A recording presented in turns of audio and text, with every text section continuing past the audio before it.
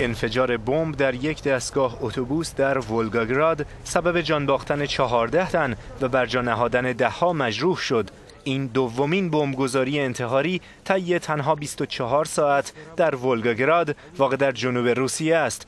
در حالی که نیروهای اطلاعاتی و امنیتی در تلاش برای یافتن سرنخهایی درباره بمبگذاری روز یک شنبه بودند با دومین انفجار غافلگیر شدند. سخنگوی کمیته تحقیق روسیه می‌گوید بر اساس اطلاعات اولیه بمب استفاده شده در اتوبوس دست کم معادل چهار کیلوگرم TNT قدرت داشته است.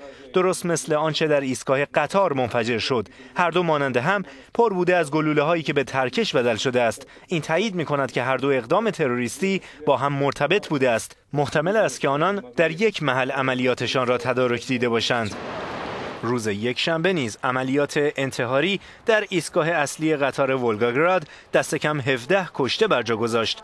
دوربین های مدار بسته سیستم امنیت شهری صحنه انفجار را از دو نمای داخلی و خارجی ایستگاه ضبط کرده است.